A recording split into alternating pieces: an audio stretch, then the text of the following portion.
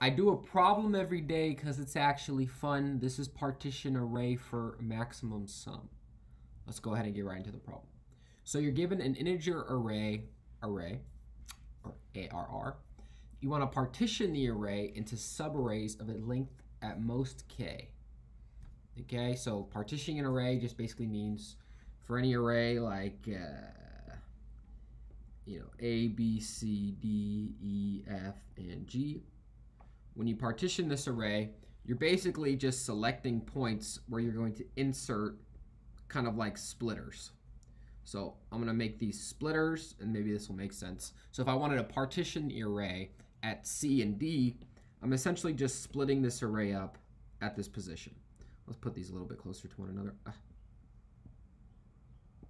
All right, so I want to make these things a little bit closer so it's easier to point out what I'm doing. All right. If I wanted to partition again at F and G, I partition there, right? So what the array eventually looks like if you just read this out and kind of ensured the formatting was correct would be like this, right? So in this example, I took the original array and I partitioned it into three subarrays. Now for the sake of this problem, when you partition the array like this, for example, they the partitioned array, right, the subarray you create can have length at most k right? So if k was equal to 3 in this example, right? Let's say k equals 3. What would that mean for the array that we partition? Well, this would be a valid array, right? Because this is one partition, it has length 3k. This is one partition has length k, and this is one partition has length k minus 2, right? Because k is 3, 3, and 1 here, right? So that means it meets the constraint versus just to kind of exhaust every aspect of a partition and a valid length partition, this would not be a valid partition if you took this system and you decided to split here. Right, if you decided to split here, well then the new array you would create after reformatting would be CD, CD, E, F, and G. And you'll notice from this example, well this has length 4, your maximum is length 3, so this wouldn't work. All right, so that's the general idea of partitioning and having partitions of a certain length. With that stated, let's continue the problem. Okay, after partitioning each subarray, each subarray has their values changed to become Okay, so we partition the array, subarrays of length most k. After partitioning, each subarray has their values changed to become the maximum value of that subarray. Okay. We're going to return the largest sum of the given array after partitioning. Test cases are generated such that the answer fits into a 32-bit integer. All right. We don't need to really worry about the second point, right? Because we're going to use Python, so the fact that it fits in some, you know, fixed data type size is irrelevant. But interesting if you're, you know, coding in C++ or another language and you have to think about uh, data types. Okay. So let's go ahead and look at this example and let's try to walk through what they mean by that second point, which is the partition becomes the largest value of that array. Okay, so we have this example. And the example is the array equals, we got 1, 15, 7, 9, 2, 5, 1, 15, 7, 9, 2, 5, 10. And we have k equals 3. Okay, so 1, 15, 7, 9, 2, 5, 10. And k equals 3. Well, it just so turns out, right, if we play this partition game again, so I'll take this array, all right, I'll put it here, and then I'll put these big red boundaries around. And we're going to make a decision about where we need to split up this array. Where it just turns out, right, that this array becomes 15, 15, 15, 9, 10, 10, 10, 10. So we entered these splitter points, right? I created these little splitters. Create a splitter here, splitter here, and that's it. Right, so if you then look at the system again, so we insert a splitter here and a splitter here. So if you look at the final example, right, you have 1, 15, 7. What did I do that? 15, 7. Close. What is wrong with me? We have 9. And we have 2, 5, 10. Right? And then what happens, right, with this idea is the after partitioning, each subarray has their values changed to become the maximum value of that subarray. So this subarray changes because these values now become the max of the subarray. So what's the max of this subarray? 15, right? What's the max of this subarray, which is one element, so it's that element itself, 9. And what's the maximum of this subarray? That would be 10. So each element becomes the max of its subarray. And your answer is just the sum of those values. Now, this what I'm about to do following will give you a little bit of a hint of how this works, uh, how the solution works. But, you know, since there's three elements in here and the max is 15, I'm going to do 15 times 3. That's what I'm going to sum from this subarray that I partitioned out. There's one element here with the maximum 1. There's three elements here and the maximum is 10. If you sum that up, you get 15 times 3, 45, plus 30, 75, plus 9, 75 plus 5 plus 4, 84. Okay, so you get 84, which is the answer here. So interesting, right? So kind of in this problem, you want to find optimal partitions, and you can create as many partitions as you want, but the partition that you create will define how long uh, the maximum value, which will contribute the size of that partition number of elements to your solution.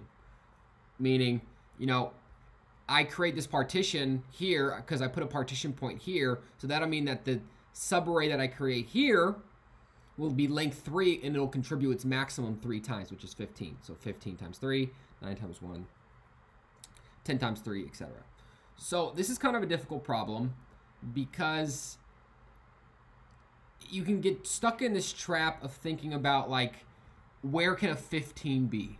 Right? Like 15 since the thing is 3, it could be 15 by itself and you could split at the 1, right? Or 15 could go to the right or it could be 15 here, 15 15 15 on this side. Right? So there's many places that 15 could end up being the sum. So you got to think about this problem in terms of the indexes um, if you want to find kind of a intuitive solution. But it, it's kind of difficult.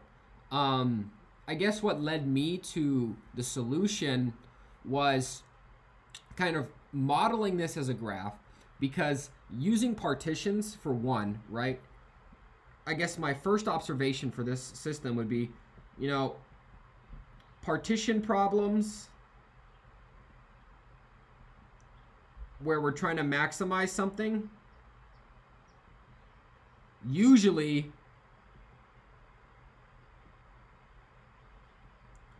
usually indicates dynamic programming okay that's usually what partitioning problems indicate I've done a lot of partitioning problems in the past right this idea of trying to find split points and almost exclusively they were solved using dynamic programming. So just reading this problem, it may be incorrect. Might you may go down the wrong path thinking that okay, I see partition, so it's probably dynamic programming.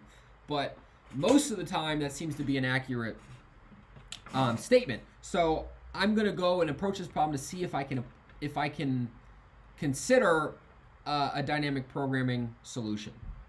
So I guess the idea, if you wanted to model this graph, would be to, I guess, think about partition points and optimal partition points, right? Because if we didn't consider this idea of becoming the max value, how would you find the maximum kind of partition points? I guess not partition points. Hmm. How do I explain this? If you had this system let's first model it kind of not as a graph yet, but let's think about partition points when you look at 9. So this is the last index. So let's create a dynamic programming solution. Let's think about the best, let's say our dynamic programming array i for an index is the best partition scheme ending at index i. So what I mean by at index idx. So what I mean by that is this is the best partition scheme ending at the index index. It essentially means this is the best system that maximizes this sum, right? Each subarray has a value change to become the maximum value of that subarray, right? So imagine that it ended at this index. What would that mean for the maximum um, value you could get uh, in terms of a partition? So if it was ending at 9, if the, the best partition scheme ended at 9, that would mean that 9 was the last value in this partition. So how many partitions, I mean, what partitions could exist for 9? Well, you know, if k equals 3, right, the, the this can't be a partition, right? You can't have 1, 15, 7, and 9 together because it exceeds the size of the partition. Does that make sense? Right, I can't, right, right, right. I can't place the left side of this partition here because it would make the size of that partition exceed k. So there's only a finite number of options, right? There's only a finite number of choices where I can decide to put the left bracket to this to determine where this partition should be. I could put it here, or I could say, well, I could put it there, or I could put it in this position, or I could put it in this position. But I can't put it in this position, and I can't put it to the right. That doesn't make sense. But I can put it here or here or here. Okay, and depending on where I put it, that'll determine what the value of that partition is in terms of what it provides. If I put the partition here, okay, so we'll walk through each of those. So let's say I tried that first. So I put the partition here. What would that contribute to my total? Why did I do all that? What would that contribute to my total solution if I put the partition there? Well, it would give me 9 to my total solution times 1 because that's the length of the of the system. What if I put the partition instead here? If I put the partition here, it would still contribute 9. Why? Because 9 is the maximum value within this partition times 2. That's what it will contribute to my total sum at the end. And if I put the partition here, this will provide now 15 total to my whole system and times 3 because that's the length of the partition that I've created. And then I would know that that's all I can check, right? I can't keep checking. I can't move this over again because that would exceed the size of K. That would exceed the total size of the partition, right? So essentially all I have to do is generally put, sorry, there's some other work from previous things. Generally all I have to do is think of this system as a bunch of numbers. So if I had the number A, B, C, D, dot, dot, dot, dot, dot. No, maybe not dot, dot, dot. Let's put the dot, dot, dot on the other way, right? and I already know what the valid partitions are, what the, the best partition scheme is for each of these values. So I know what's best here, I know what's best here, I know what's best here, I know what's best here, and I know what's best here. So what I mean by that is that I already have determined the value that I get if I put the last partition ending at this point. Okay? And then say we add an element E. So we're looking at E, and let's say K equals 4 k equals 4. So what would that mean? If I add an element e and I look at a new element, I can add e itself. So this is the new element with the new ending point position. I'm trying to find what the best partition scheme is for e.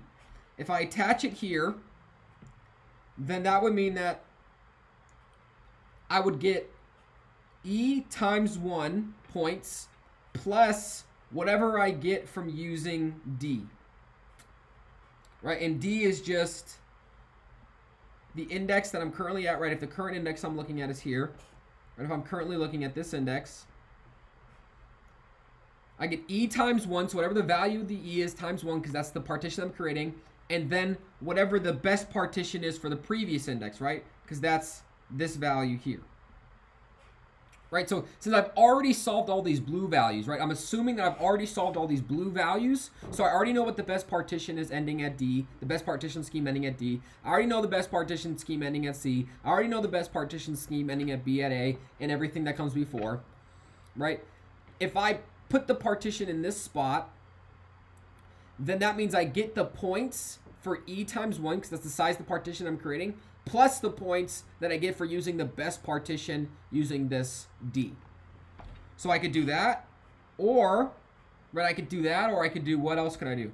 I could take the max of E and D times 2 plus the partition at D of index minus 2.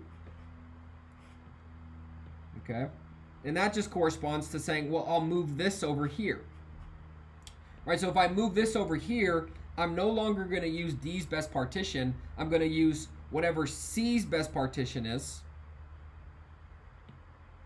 So that's what I would consider next. And then what I would do is say, okay, or I could use, since this is 4, or I could use the max of ED and ED. Uh, ED and C times 3 plus whatever the best partition is ending at B. Right, and then finally, just to make this totally complete, since I can use 4, this would be the last thing that I can consider. So I could do the max of EDC and B times 4 plus D of IDX minus 4. Right, so for any point I can consider all four of these options, right? Because I have K equals 4. So I could check any four of these positions and say, well, if I have, so now that I've found the optimal for this point, right? So now this just gets added. So now I know what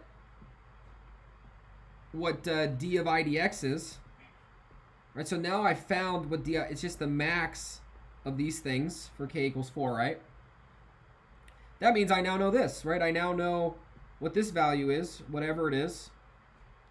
So then for any subsequent element, I have that calculated. So you can kind of see inductively how that works. Right now I've solved it for E, so then when F does this process for K equals 4, it'll have this E value, it'll have the D value, the C value, the B value, the A value, and all the values before. Okay? So another way you can think of this problem, if this um, isn't totally clear, and I hopefully this is clear, you can also think of it as a graph like this. So this would be the actual graph and the vertices in between them for the example problem that we were looking at, right? essentially at any node, right, you can skip forward nodes and go to a subsequent node and use the maximum of that partition. So for the example that we were using before, if the first three things become 15, you would use this system here, and then 9, and then the last two, three became 10. And then if you just walk through this system with the associated graphs and nodes, this is nothing. So you have an opening bracket here. You travel down to 7. The maximum between here and here is 15. So you get 15, 15, 15 for these first three nodes. Then an open a closed bracket and then an open bracket. A 9 by itself close bracket, open bracket, all the way to 10, and the things in between them are all 10. So 10, 10, 10, close bracket, close bracket. So you can think of the system like that, right? Because for any node, any vertice, you look at the k previous things to determine what can provide you with the maximum solution. Okay, and that's just another way of stating this in a graph, uh, graph representation. Um, so with that stated, what would be the recurrence relationship of this system? Well, for any index, right, if we wanted to look at it in these terms, it's going to be the maximum that we can get for k, right, whatever k, the range for k is, the maximum that we can get for, uh, what is the array? So we have array the maximum that we can get in the array that we're going to create. So we'll take the array from idx minus k all the way to idx. And this may be one off or something. times idx minus k plus d of idx minus k.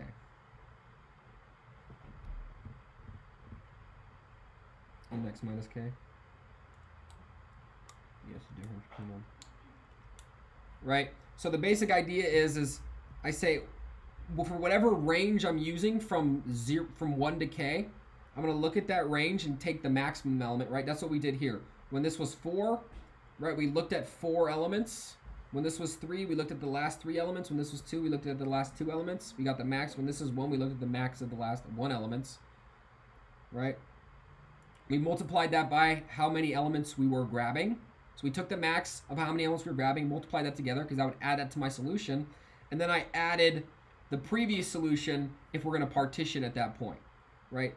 Here, I took these four, I, I multiplied it by the max, and then I added the solution that we've already found for that previous point if we're going to partition there. Okay. So this is the general formula. Um, we're going to have to go through all n indices, right? So we're going to have to solve this n times, right? So if we're looking at runtime here, so this is going to take n times. We're going to have to do this n times. And then we have to look at all k values, so all n times k values. But then when you find this information, every time you look at k elements, right, from 1 to k elements, you have to look at 1 to k previous elements to find the maximum, right? So when I try to find this k, I have to look at the previous k elements to find the max. So that's another k. So that's nk squared. So to remove the constraint of k squared is we'll have a kind of prefix sum idea that when we solve this problem, we'll keep track of what the maximum thing is in the array that we're building. That way we don't have to recompute it every time, right? Because what's happening right now is like, if we went back here and looked at this again, more generally, right, when we're computing this, we start here, right? We start in this situation, and we'll have to find the max of this. And then we'll move this over, and we have to find the max of this to find out what the maximum number is we're going to multiply. Then we have to move it over again and maximize some of this. And move it over again. Maximize the sum of this. Right? So we have to keep maximizing the same things over and over and over again. So how about instead, to save on runtime, we'll just set a variable m equal to e And then when we move something over, we'll just update it by saying, okay, m equals the max of whatever we thought m was before with d. So m will be the max still, and then we move it over again, we'll just say m equals the max of c and m. And then when we move it over again, we'll just take the maximum of m equals the max of b and m. So I'm basically saying is you just do like a prefix idea, right? So every time you shift over one to check a previous k value, right? Like I, I look to see if this was the subarray, then I look if this was a subarray. I'm only increasing the size of the subarray by one, so I just check whatever I think is the largest, right? Whatever was the largest before with the newest value. And if this newest value is larger, then we'll multiply by that. Otherwise, we'll use the old largest value. That way we don't have to update this system like this, right? Because this is scaling. We have to compare two, then three, then four. Now instead, you just say, you multiply it by, you, at the beginning you'd say m equals e, multiply it by m.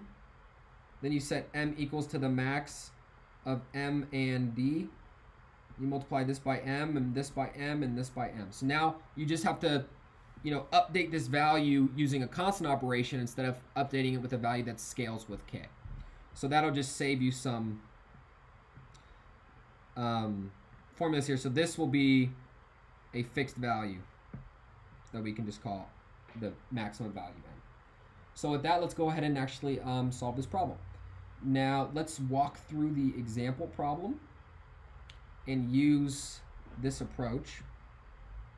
Okay, so we'll have the array itself, which is 1, 15, 7, 9, 2, 5, 10. Okay. And then we'll have this D value. Okay, so for 1, it's pretty easy, right? Because 1 has nothing on its left to even compare to, so it can only be 1. For 15, we look at 15 by itself, you get 15, right? Whoa. I apologize. You know, you look at 15 by itself, you get 15 plus 1, right? Because you would get this array here and this subarray here. Or if you move it over 2, you'd get 15 plus 15, which gives you 30, right? So if you tried this subarray here. Right, so 30 would be the solution for this line, 1 would be the solution for this line. If you had 7, you could put the split in this position.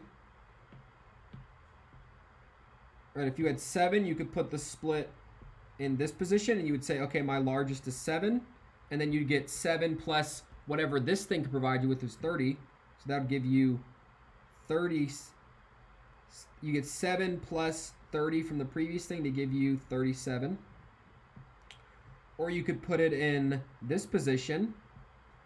And now you said before my max was 7, I'm looking at a 15 now, so now my max is 15. So you get 30 plus 30, because you multiply these two together, plus whatever you get in the previous position. So you get 30 plus whatever's in the previous position to get 31. Or you can move it to the last position. And now you have a 1, so your max is still 15. And you'd say, okay, I can do 15 times 3. So 15 times 3, I can do 15 plus 15 plus 15, give me 45. So that would be the best in this position. Okay, and then we'll go do it for 9. And then from there, we're going to just stop because it's taking too long to walk through this. But I think you get the general gist of what we're doing here. So you can do 9 by itself. You just get 9. Right? You could do, you get 9 by itself. You get 9 plus whatever you get if you split it the previous part, which is 45. Right, so 9 plus 45 is uh, 54. Or you could go 2 over. So you do 9 plus 9, 18 plus 30, which is uh, 48. Right, so here's your options. You have 54, 48, or you could go 3 over, and your best would be 15. So 15, 30, 45, you get 46. So the best thing to do here would get you could get 48. You get 48 ending at this point if you use 9 alone, right? Because you got this 48 from using 9 alone and then using the previous best solution. So that's the general gist. Um, let's go ahead and just write the code. So we'll set D equals 0. Uh, how are we going to do this? So some weird pointer issues, and I'm kind of concerned that I'm going to mess something up. Um, how are we going to go about this? Let's say a D, let's just make D a default dict so I don't have to worry about, no. Make D times length of n, n which is the length of the array. And then all we have to do is we have to look at each index, because we called it index i, in range length of the array. And then we have to figure out what would be maximum for d, right? And we want to keep track of the maximum value, so we'll set that to negative float infinity at the beginning. And then we'll look at each k range, so we'll call that uh, j dx in range what? You can use just one value, or you can go up to k. But you can't go past k, so I guess it would be the min of k and the index plus 1. Right, because the idea here is like, in this first example, if k was equal to, if k was equal to 3 here, right, you can't go farther back so you can only go to 1 itself. For 15, right? 15 can check 1, but it can't partition past 1 because there's nothing to the left. So you can only go up to the index. And if you exceed the index plus one, you can only go k backwards, right? So you can only go a maximum k backwards. Here, you can check nine, you can check seven, you can check 15. Here, you can check seven, 15, and one. But when you're here, you can't check, um, you can't go farther than this, right? Because you've exceeded the system. So this min of k index plus one will ensure you don't go too far left, right? But it will also ensure you can only go at most k to the left. But if there's nothing k to your left, it makes sure you don't exceed the boundaries of the array. So that's the basic idea of this, right? You can go at most k, and you can go at most the number of elements that you have, and whatever the minimum of that is, what you'll actually be capable of doing. The first thing we'll do is we'll say, okay, is the new value that we're looking at in this range at the array larger than what we think is the max? So that's the prefix sum idea, keeping track of what the largest thing is. And then we'd say, okay, well, depending on what that is, d at this index is going to be not array at k, an array at index minus k. Minus k plus 1, I guess. Right, because we're doing k equals 0 to represent the first element. So k plus 1 would get you one element to the left. Or, wait. Uh, sorry, I'm thinking about this. So if k was 0, it would be an element itself. Yeah. So you do m times is the max of whatever you think the maximum is. And m times, so what's the size of this array? k plus 1, right? Because if k is 0, we're dealing just 1. If k was 1, that would mean that you have two elements because you're looking at yourself and the first previous element before you. That's what this, this JDX value is here. So I called it this. You should call it JDX. So the idea is, is I'm going from JDX from 0 to the min of whatever k is, or the index that I'm at. And if this is 0, that means I'm using just myself, so I'm using 0 elements to my left. If this is 1, that means I'm considering one element to my left. If this is if JDX is 2, I'm considering two elements to my left, so on and so forth. Plus d of index minus JDX. So if this was 0, minus 1. Because 1 to the left, right? If, if, if JDX is 0, I'm using nothing to my left. So then I would use the partition that's 1 away from me to my left. Right? Basically, if IDX was here, right, and we're talking about this element, and we have information about all this previous system, if JDX is 0, that means that I'm not considering anything to my left, right? So that would mean that I do IDX minus JDX minus 1. That'll get me to this point because JDX is the same. IDX minus JDX is the same thing, right? IDX minus JDX. If IDX is here, minus JDX equals 0 is the same thing. So minus 1 will get you to the previous element. Okay. Very circular way of doing this, but hopefully that makes some sense you know, there's different, there's slightly different variations of how you could do this. So if my code doesn't make exact sense, hopefully the theory behind why this is the solution that we're approaching is better, is informative at least. Um, and then at the end, you just return d of negative 1. Index out of boundary error. That's the problem with this problem is like even if you understand the not semantics, but you understand the theory, you understand how to approach it. There's some weird off one errors and like, okay, if k is here, so you may need to really sit down and think through, okay, if IDX is this and JDX is this, what's my solution?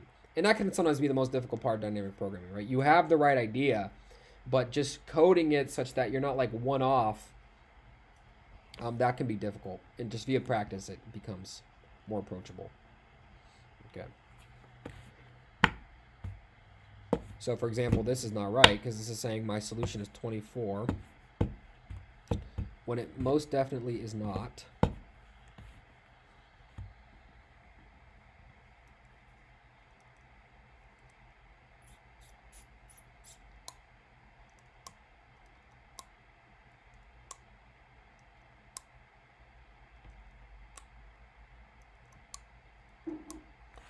Okay, so this is weird. So let's um Let's print D.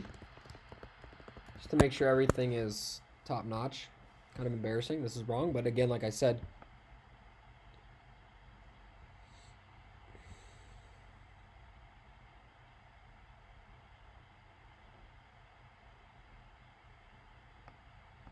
So if k is 2,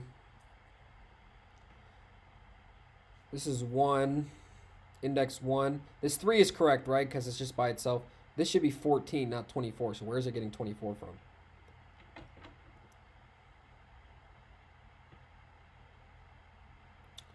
Oh, okay.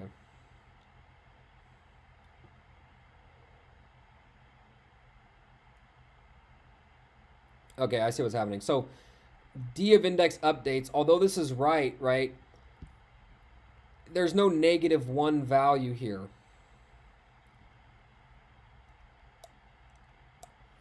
So it's wrapping around. So maybe we should, yeah, what if it wraps around too far?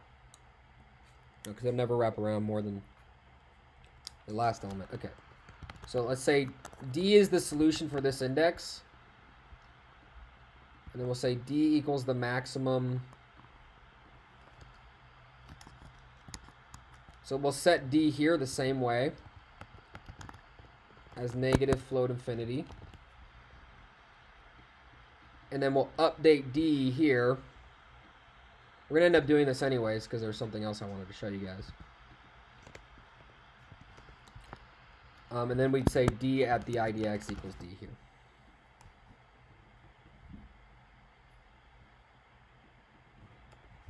Okay because it's going to pull values from the previous iteration. So if you're on the last element, it might wrap around. So yeah, there you go.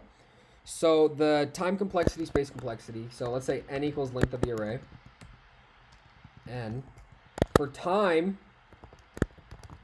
right, we have to go through each element in the array. So we have to go through all n elements. And then we have to go all k element, all k away to our left, right? Because we have to look at every k partition point to our left. So this is going to take for each n elements, we have to look at k things. So that's going to be big O of n times k. And then for space, well, I create an array that's uh, that's the length of r, so that's n. And then there's just a few variables that we update accordingly. So that's big O of n. Now, k and n are, you know, if you look at the description here, right? K is always less than or equal to n. So K is likely, K can never be larger than n, right? You can never have a K value that's larger than n. So you might as well, um, so K is most likely going to be significantly less than n, depending on the system that you have, right? So you can actually make this system O of K time if you make this K plus 1 away and then you don't even need to consider your distance in terms of D.